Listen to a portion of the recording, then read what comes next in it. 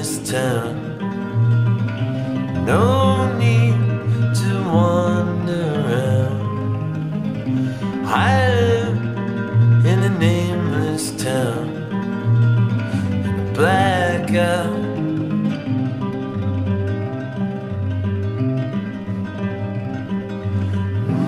Many friends have said goodbye. Hurried it out.